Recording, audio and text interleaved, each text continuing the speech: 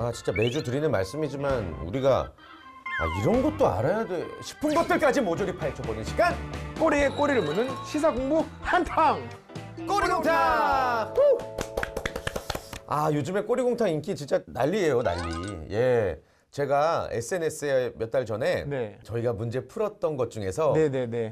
맥커터 정답들 있죠. 네. 문제 나오기 전에 맞춘 것들. 네. 그래서 우리 상훈이 거 세 개, 제 거 세 개 이제 맞습니다. 편집해서 올렸더니 맞습니다. 너네 천재 아니냐고 맞아요. 난리가 났어요, 진짜로. 야, 뭐, 와, 막 난리가 주변 사람들이 나를 다시 보는 거야, 막. 맞아요. 그래서 물론 우리가 헤매는 게 더 많지만 저희를 또 천재로 만들어주는 프로그램이라서 참 감사하고 또 많이 또 알려져서 참 신기하고 그렇습니다.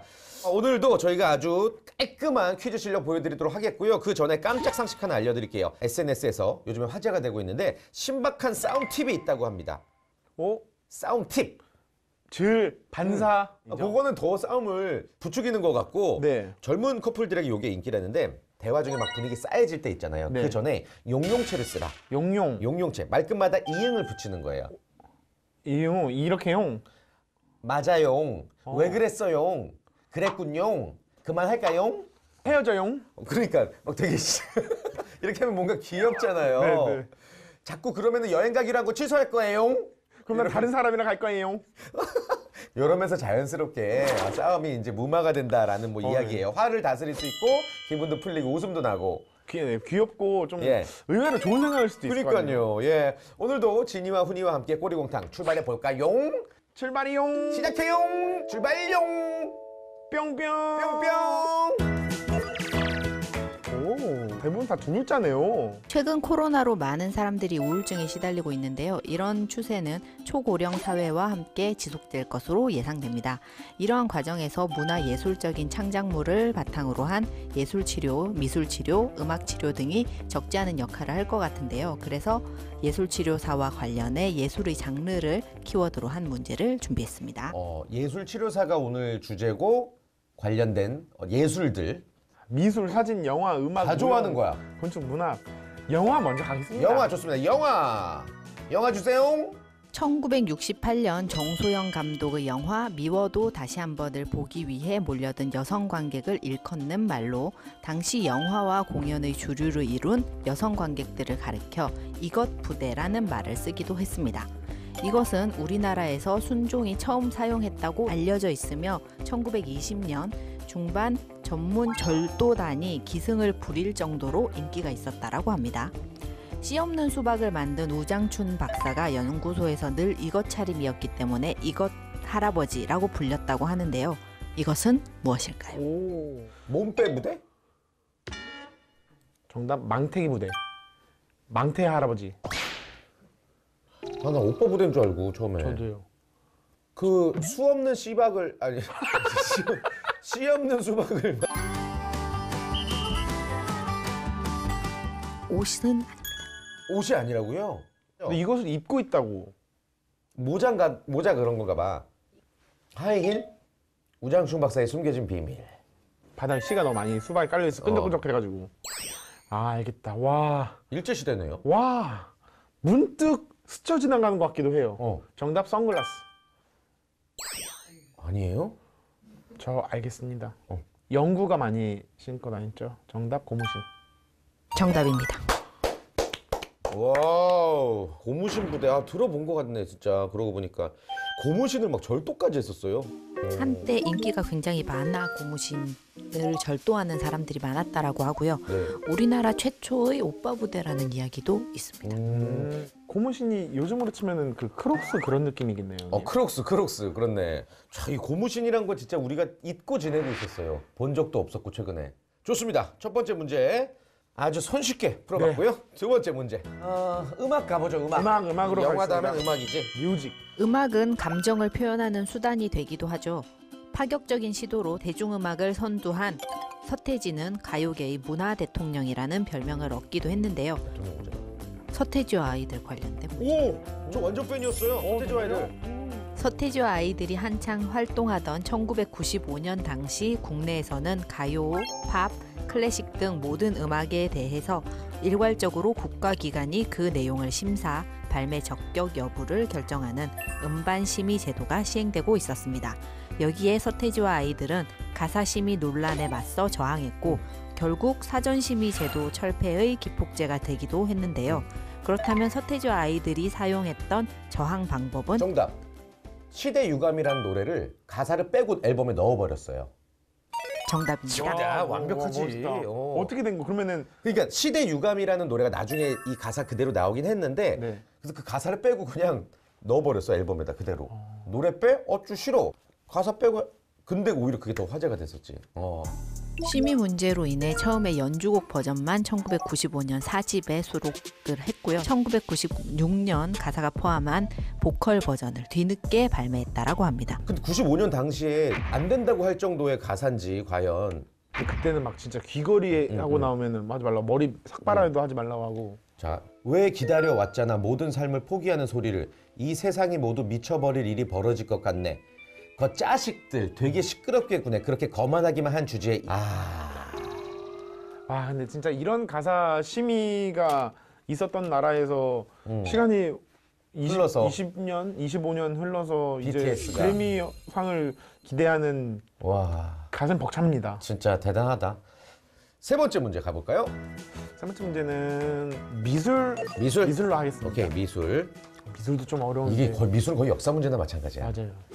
고대부터 근현대까지 미술사를 살펴보면 남성은 창조의 정신적 주체로 여성은 남성 미술가에게 영감을 주는 자연의 묘주로 인식되었던 가부장적 사회를 엿볼 수 있습니다.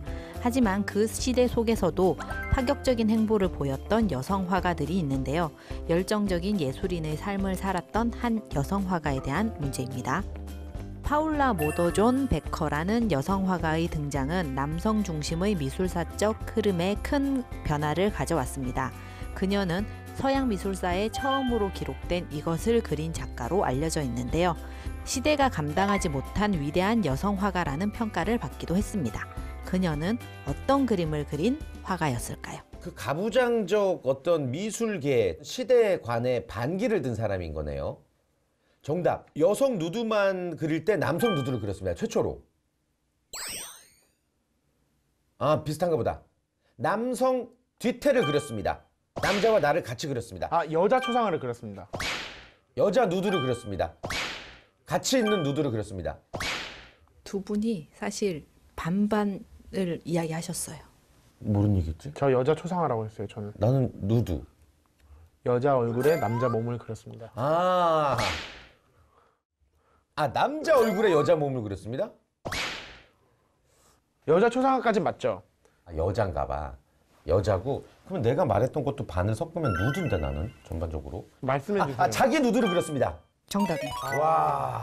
누드 자화상을 그렸다가 정답. 아, 진짜 파격이다 이거는. 와. 파울라 모더전 베커는 1876년 독일에서 출생한 표현주의 작가라고 합니다. 자신만의 표현법을 나타내고자 했던 미술가였고요. 브레멘, 런던, 베를린 등에서 실력을 쌓으면서 표현주의적 그림을 그렸던 화가로 평가를 받고 있는 중입니다. 이렇게 어떤 그 시대와 어울리지 않는 하지만 자신의 고집대로 뭔가 해냈을 때 역사가 기억을 하네. 그 혹시 김미루라는 사진 작가 알아? 어, 뭐. 도올 김용옥 선생님 따님이야. 아 네. 근데 셀프 누드를 찍어. 근데 네. 돼지 우리 속에 들어가서 아, 저- 저 찍는다든지. 봤던 것 같아요. 어. 근데 그 김미루 사진 작가가 나 초등학교 동창이거든. 아 정말요? 근데 그 어렸을 때 모습을 떠올려 보면은 매번 뭔가 특이했어. 막 춤을 출 때도 우리는 막 박남정 춤 추고 그러는데 인도 여성 춤을 추고 막 그랬었어. 와. 뭔 상관인지 모르겠지만 아무튼 이런 파격적인 것들은 참그 훗날 더 인정을 받는 것 같아. 맞아요. 이제 한 문제 남았나요? 이제 딱막 했구나. 주제하고 주제 갈까? 주제 하도록 하겠습니다. 오케이 주제. 이것은 1936년 모레노가 제안한 기법으로서 인간의 심리를 탐색하기 위한 대인 집단 접근법입니다. 이 기법은 자신의 갈등 상황을 단순히 말로 설명하는 것이 아니라 연기로 표현함으로써 자신이 갖고 있는 문제의 심리적 차원을 탐구하는 것인데요. 자신의 현실과 좌절당한 상황, 소망 등 자신이 직면하고 있는 문제를 연기로 표현하는 과정을 통해 내재된 자신의 감정, 무의식적 충동 등을 깨닫고 현재 문제와 관련된 환상이나 기억을 찾아낼 수 있도록 하는 것입니다. 이것은 무엇일까요? 아, 약간 내가 촉이 오는데 이건 찬스 가야 될 것 같아. 네, 이거는 음, 바로. 가, 가겠습니다. 음, 자, 돌리겠습니다. 돌려 돌려 찬스팡. 8. 뭐지? 아, 나 이거 별론데.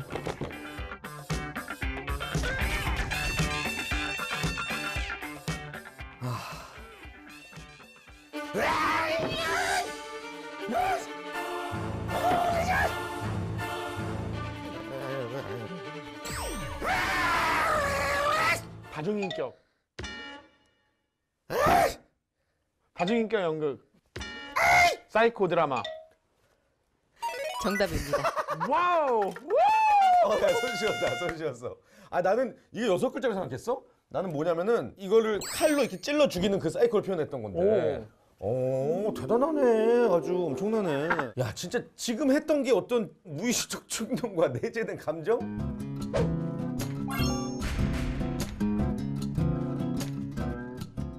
마지막 문제 가볼까요? 대결 진이와 훈이.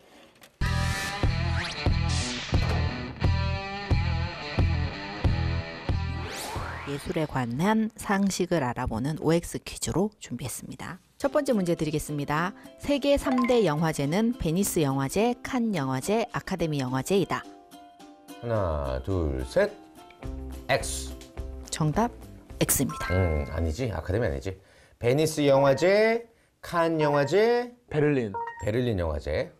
음. 두 번째 문제 드리겠습니다. 연극의 한계를 보완하기 위해 무대 위의 영상을 삽입하는 것을 키노드라마라고 한다. 하나, 둘, 셋. 정답 O입니다. 맞췄어? 네. 축하해. 레퀴엠은 카톨릭 교회에서 죽은 자의 평안을 기리기 위해 부르는 합창곡이다. 하나, 하나, 둘, 셋. 나 처음 들어보는데? 정답 O입니다. 아, 진짜요? 네키엠 캔디 그거예요? 하나님 죄송합니다. 인상주의는 극단적 형태 변화와 단순화로 내면 세계를 표현한다. 하나, 하나, 둘, 셋. 정답 X입니다. 어, 맞췄지? 어, 들렸어? 그렇습니다. 마지막 문제 드리겠습니다. 베른 조약에 따르면 저작권의 보호 기간은 저작자의 사후 50년이다. 하나, 둘, 셋. 아니야, 아니야, 아니야, 아니야, 아니야. 나 믿어. 아니야. 100년이야. 정답 O입니다. 아, 아 미안해. 아닙니다. 왜냐면 똑같아야지 둘 다 맞잖아.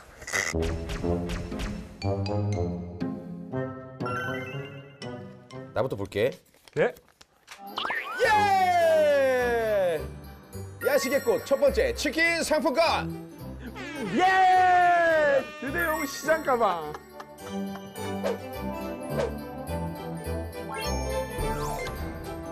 근데 새 건데 왜 이렇게 할머니가 쓰던 거 같냐? 이 치킨 상품권 이거 뭐 저한테 보내주시는 거예요 진짜로? 저 저번에도 받았잖아요. 양보할게요. 우리 딸한테 양보할게요. 그리고 하- 엄청 매운 거 시키세요. 형님. 어, 요거는 늘 힌트를 주시는 우리 촬영 감독님께 드리는 거 어떨까? 저 항상 힌트를 위해서 목숨 바치시는. 와 멋있습니다. 이래야지 다음번에 쉽게 주셔서 녹화도 빨리 끝나고. 네. 어, 요거를 저 감독님께 전달해 드리겠습니다. 짜잔. 짜잔.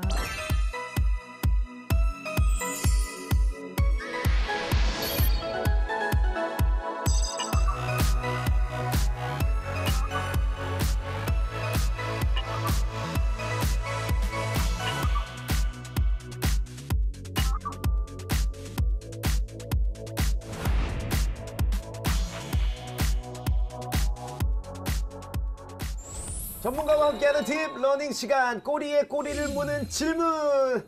자 오늘도요 우리 꼬리곰탕의 식구와도 같다고 할 수 있는 맞습니다. 아 요즘 정말 이분 너무 바쁜 분입니다. 진짜 바쁜 아이돌 그룹 같은 스케줄을 자랑하시는 맞습니다. 박정호 교수님 안녕하세요. 아유, 안녕하세요. 안녕하세요, 교수님.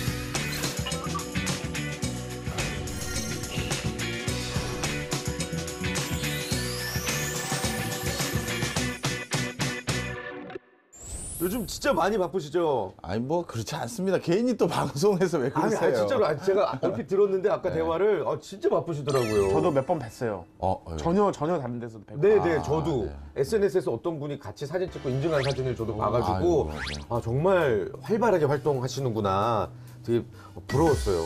우리 꼬리곰탕이 키운 스타 이렇게 해주십시오. 아 말씀만이라도 감사합니다. 예, 예. 자 오늘 어떤 주제 또 저희를 위해서 준비해 주셨나요? 예, 앞으로 이제 주목받을 직업 중에 하나이고, 그 다음에 코로나 19 때문에 네. 더더욱 역할이 커질 직업 하나를 소개시켜 드리려고 하는데요. 코로나 때문에 역할이 더더욱 커질 거다. 혹시 주변에 요즘 네. 코로나 때문에 많은 개개인의 심리 상태, 상황이 어떻게 바뀐지 좀 들으신 거 없으세요? 우울하다고 많이들 하시더라고요. 아, 맞습니다. 예. 바로 그 우울한 개인들의 상황을 좀 많이 개선시켜주고 치료시켜줄 그런 직업 하나, 예술치료사 이렇게 말씀드릴 수 있을 것 같아요. 예술 치료사. 예. 여기서 예술이라고 하면 또 음악도 들어가고 네. 미술도 들어가겠죠. 그래서 실제 음악 치료사, 미술 치료사가 세부 이제 분야라고도 할 수 있습니다. 아, 네. 뭐 얼핏 얼핏 뉴스나 뭐 TV에서도 본 것 같긴 한데 자세히는 좀 이해가 없거든요. 네. 원래 초기부터 이 네. 예술 치료, 음악 치료에 주목을 했던 이유는요. 우리가 어, 일반적인 치료 기법이 아니라 어, 조금 어, 정서적인 부분의 치료가 같이 배가 돼야 될 필요들이 많이 있었었어요. 아. 예를 들어서 트라우마를 가지고 있는 아이라든가 어른이 있는가 하면 또 어떤 외부적인 상처를 받으면 그것 때문에 또 자신의 정서적인 또는 어, 그 기능적인 게 네. 그런 감정 때문에 제대로 발현이 안 되는 경우가 있어요. PTSD. 어, 맞습니다. 외상, 외상 스트레스 장애. 이야. 와. 예. 이야. 아, 근데 그게 인터넷에 뭐 되게 뭐 경험담이 올라오면은 어 나 그 안 좋은 기억이 떠오르면서 그게 약간 아. 유행어처럼 많이 쓰더라고요. 예. 그래서 부모님이 갑자기 전쟁통에 자고한다든가 이러면 본인은 외관상의 어떤 상처를 안 받았거나 네. 아니면 잠깐 본인이 다쳤다라는 그것 때문에 아. 갑자기 말을 잃어버린다든가 아. 뭐 뭔지 아실 거예요. 아, 그러면 이런 친구들의 상황은 우리가 의사의 메스로 고칠 수 있는 게 아니잖아요. 그렇죠. 예. 그렇다면 이런 건 도대체 어떻게 그 친구를 갇힌 공간에서 다시 끄집어낼 수 네, 있을까 네. 하다가 사실 그런 친구들을 오랫동안 관찰해왔던 많은 학자들이 어 우리가 그냥 딱 가서 객관적이고 이성적으로 괜찮니 너 좀 나아지지 뭐 이런 게 아니라 음. 악을 들려준다든가 그림을 그려보게 한다든가 어, 이런 식으로 하면서 슬슬 아. 소통의 장으로 이제 끄집어 나오는 이런 것들이 목격되기 시작했어요. 아, 영화 기생충에서도 뭐 그런 비슷한 어 맞아요 미술 치료 미술 아이가. 아, 어, 네. 물론 그 박소담 씨 역할은 이제 가짜지만 네, 네, 실제 있는 직업이죠. 네. 예. 그래서 먼저 미술 치료에 대해서 그럼 우리가 직접 한번 네. 체험을 해보려고 오, 하는데요. 좋습니다. 저 진짜 요즘에 좀 스트레스 심해요. 어, 그러세요. 예. 자, 그래서 제가 두 분에게 지금 가지고 계신 노트 있잖아요. 네네. 노트의 새로운 면을 한번 펼쳐가지고요. 우와. 그냥 사람을 한번 그려보세요. 사람이요? 예, 아무것도 제가 더 이상 언급 안 하고요. 사람이라는 걸 한번 그려봐라. 이렇게 어, 주문을 드렸습니다. 그럼 뭐 한 1, 2분 드릴 테니까 한번 그 그려보시고요. 저는 그 과정에서 말씀을 드려볼게요. 음, 뭐 제가 감히 그런 전문가들의 모습을 흉내내려는 건 아니고 제가 여기 방송 출연하기 전에 아주 저랑 절친한 심리학 교수 한 분에게 오늘 이 방송이 있는데 어떤 것을 한번 체험을 하면서 많은 시청자분들에게 어, 이런 직업 이구나 이거를 알려드리면 좋을까 했더니 이렇게 해봐라고 얘기를 해주셨고요. 그리고 그거에 대한 해석은 그럼 내가 어떻게 하면 되니 그랬더니 뭐 비전문가지만 이런 맥락 속에서 해석을 해드리면 크게 뭐 틀렸다고 볼 수는 없을 거다 이렇게 얘기해 주셔서 이제 그런 걸로 말씀을 드리려고 합니다. 어떻게 다 그리셨어요? 어제 내일까지 그려야 돼. 왜 이렇게 정교하게 예. 그리세요? 아니 못 그려 상관없는 거죠. 아 그럼요. 이걸 잘 그리는 게 아닙니다. 하나씩 줘, 주시면 예. 제가 이걸 가지고 설명을 한번 무서워. 해볼게요. 네, 주세요. 네. 아, 이런 거 되게 해보고 싶었어요. 네, 사이버스로 맞아요. 나오고 이런 거 아니겠죠? 아닙니다. 일단 이 그림을 그릴 때 어, 예를 들어서 사람을 그려봐라 했는데 지금은 이 두 분이 그린 사람의 얼굴이나 방향은 정면으로 마주보고 있죠. 아. 이거는 그래도 소통을 적극적으로 하려는 자세인 거예요. 오. 오히려 겉을 안 보고 뒤를 돌아보고 있다든가 옆을 보고 있거나 눈을 가리고 있거나 그러면 사람과 사람을 소통하고 싶은 마음이 별로 아. 없는 거고 그다음 또 한 가지는 이 표정이 두 분 얼마나 지금 밝아요 아. 밝고 바로 이런 전반적인 어떤 그 그림이 전반적으로 품어져 나오는 것도 중요한 메시지고요. 그 다음에 이 사람이 기본적으로 자기 캐릭터에 자신감이 있는 있는 사람인지 없는 사람인지를 또 볼 수 있는 방법들 중에 하나는 네. 또 이런 비유적인 표현도 쓰더라고요. 예를 들어서 그리다 보면 우린 전문적으로 미술을 배운 사람이 아니잖아요. 예. 그리다 보면 내가 생각보다 얼굴을 크게 그렸어. 예. 그럼 이제 몸을 그려야 되는데 어 공간이 나머지 짧아요. 예. 그러면 어쩔 수 없이 몸은 얼굴에 비해서 작게 그리는 사람이 있고 네, 네. 그게 아니라 어 공간이 작네. 그러면 몸의 일부만 그냥 그려버리지. 잘리더라도. 네, 이렇게 하는 사람 있잖아요. 아. 이 남은 면에 맞춰서 몸통을 작게 그리는 사람은 자신이 하고자 하는 일에 자신감이 없는 거예요. 그냥 어떻게든 맞춰야겠다. 강박이 있어요. 예, 예, 뭐 그런 게 있는 거고. 근데 이거는 꼭 안 맞다고 할 수는 없는 것 같은데. 자, 그런데 예, 예. 만약에 얼굴이 이만큼 그렸어요. 예. 이만큼 그렸는데 그거보다 어 이제 몸통을 못 그리겠네? 어, 그럼 잘려서 그리지 뭐 하는 건 어, 내가 가는 길을 결국 어. 가야지 이런 느낌이 좀 더 강하다는 어허. 거죠. 바로 그런 차이가 있고요. 예. 그 다음에 이렇게 남하고 같이 있는 그림을 그리거나 이런 건 소통하고 공감하고 같이 더불어 살려는 지질이 되게 오. 많은 거죠. 네. 그래서 예. 지금은 이제 어떻게 보면 아 미술 치료라는 게 음. 그림에 들어가 있는 메시지를 여러 그림을 그리게 해서 찾아내는 아. 그러다 보니까 모든 사람이 똑같은 그림을 그렸다고 해서 그걸 똑같이 해석할 수도 아, 없다고 그렇죠. 하더라고요. 계속 그분과의 관계를 설정하면서 하는 거니까요. 음. 그래서 오늘 거는 그냥 어떤 이런 형태구나 이제 보여드리려는. 거고 그렇죠. 네, 네, 네, 절대 좋습니다. 이- 이대로 하시면 안 되고요. 네. 자, 하여튼 그래서 이렇게 나의 속마음을 글로 표현해라, 말로 하라 이렇게 하면 다 숨기고 감춰서 치료가 안 되는 사람들. 이런 사람들은 그림을 그리게 하거나 음. 악을 듣게 하거나 해서 자신이 메시지를 분명 전달하지 않았음에도 불구하고 아, 뭐 치료를 해야 되는 사람 입장에서 메시지를 모아가지고 어떻게 보면 경계를 허물어서 치료를 하는 거죠. 네. 자, 그런데 코로나 19 이제는 정상인들마저도 많이 치료가 필요할 정도로 많이 우울한 분들이 많아요. 음. 어떤 연구기관은 지금 원래 한국인들은 통상적으로 100명 중에 우울증에 시달리는 사람 몇 명 정도 될 것 같으실까요? 자, 코로나19 전에 100명 중 다섯 명? 어, 거의 맞추셨어요. 어, 한 두 명에서 어떤 연구기관은 한 네 명 정도 어. 얘기합니다. 근데 지금 코로나19가 터지면서 많게는 두 배, 아니면 적게는 1.5배 가량 그 숫자가 늘어났다는 아. 거죠. 그럼 길 가는 사람 어떻게 보면 10명 중에 한 명 꼴로는 우리가 네. 뭐 자칫 잘못하면 만난다는 거잖아요. 예. 이건 굉장히 높은 수치죠. 우리가 첫 번째 하나 우리 이 예술 치료라는 이 직업에 대한 오해를 푸셔야 되는 게 아까 제가 이렇게 큰 충격을 받은 사람을 비유적으로 표현하거나 네. 외관상 큰 상처를 받은 사람을 표현했지만 사실 예술 치료의 대상자들은 일반인들이 훨씬 더 많다라고 하더라고요. 이게 우리가 예술 치료를 그동안 잘못 알고 있었던 범주다 이렇게 생각을 하시면 좋을 것 같습니다. 특별한 사람들만이 치료받는 게 아니라 그럼요. 좀 지극히 평범한 맞아요. 그런 사람들이 예술 치료에 도움 받을 수 있다. 네. 또 한 가지 이제 또 흥미로웠던 사실은 네. 지자체 간의 갈등을 미술 작품이나 이런 것들로 좀 해결을 한 적이 오, 있었는데요. 지자체요? 어, 서로 간에 만나서 중요한 이슈에 대해서 소통을 해야 될 이슈가 있었었는데 그런 경우들 많잖아요. 내가 더 가져가지고 더 많이 가져가면 저쪽이 덜 가져갈 수밖에 없는 음, 이런 뭐 상황이 있을 텐데 그때 이걸 회의라든가 공 식적인 의견으로만 조율하려고 하니까 안 되는 거예요. 음. 뭐 그럴 수밖에 없는 게 서로의 신뢰도 안 쌓이고 그렇겠죠. 자 그런데 그러한 관계에 있는 두 집단에게 뭔가 같이 음악을 연주하게 한다든지 세션으로서 아니면 같이 뭔가 이런 미술 작품을 만드는 도식 조경이라든가 네. 이런 것들에 참여를 시키고 났더니 서로 간의 입장을 이해하는 거죠. 아, 네. 화합이 되는구나. 그렇죠. 그렇게 해서 그런 것들로 나름대로 지역 간의 불협화음을 해결하는데도 오. 이런 공적 영역에서 이런 영역들을 많이 활용하고 있습니다. 야, 이거 되게 좋네요, 진짜. 네. 여기까지가 네 땅이야, 여, 여기까지가 내 땅이야. 마냥 싸우는 것보다 네. 어떤 한 공간에서 하나의 작업을 통해서 서로 이해하게 되는 거. 어. 네. 자, 그럼 여기서 네. 당연히 그 다음 질문이 있지 않겠어요? 이 직업, 음. 이거 하려면 어떻게 해야 되느냐? 아, 네. 저는 이건 얼마 벌어요도 궁금하고. 버는 것도 좀 말씀을 드리면 예. 어, 사실 수입 자체로는 뭐 우리가 흔히 말하는 아주 고소득을 올리는 뭐 의사 변호사 이런 직업하고는 뭐 비교할 수는 없죠. 음, 음. 하지만 분명히 이 직업도 가진 장점이 있습니다. 음. 하나의 분야의 전문가로서 인정을 받는 것이고요. 그렇죠. 그러다 보면 어떻게 되느냐 정년이 없어요. 아, 네, 그잖아요. 맞네. 나는 음악 치료사입니다. 나는 미술 치료사입니다라고 하면서 그 업을 계속 수행하다 보면 평판도 생기고 아. 예. 이름도 자꾸 올라갈 거 나이가? 경력이네요. 그렇죠. 어. 오히려 나이가 들고 들수록 자신의 가치가 네. 더 높아질 수 있는 굉장히 좋은 그런 음. 고령 친화적인 직업이라고 좀 말씀드리고 싶고요. 이 직업을 그럼 가지려면 방법이 두 가지가 있는데요. 어, 이거와 관련된 교육 과정을 이수해야 됩니다. 음.